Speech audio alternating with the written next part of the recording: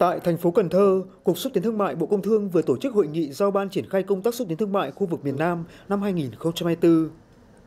Phát biểu tại hội nghị, Cục trưởng Cục xúc tiến thương mại ông Vũ Bá Phú cho biết, 8 tháng đầu năm 2024, nhiệm vụ phát triển kinh tế xã hội của nước ta nói chung và của ngành công thương nói riêng vẫn còn gặp nhiều khó khăn, thách thức, chịu ảnh hưởng rất lớn của biến động địa chính trị và kinh tế. Tuy nhiên, các đơn vị đã chủ động nắm bắt công nghệ trong việc đổi mới xúc tiến thương mại, tăng cường ứng dụng công nghệ thông tin vào xúc tiến thương mại, triển khai linh hoạt các hình thức xúc tiến thương mại trực tiếp, trực tuyến, lựa chọn các nội dung xúc tiến thương mại phù hợp để triển khai hiệu quả công tác xúc tiến thương mại.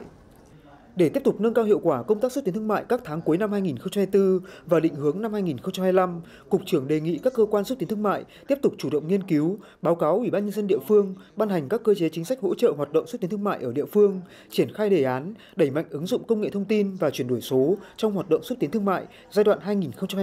2021-2030 đã được Thủ tướng Chính phủ phê duyệt.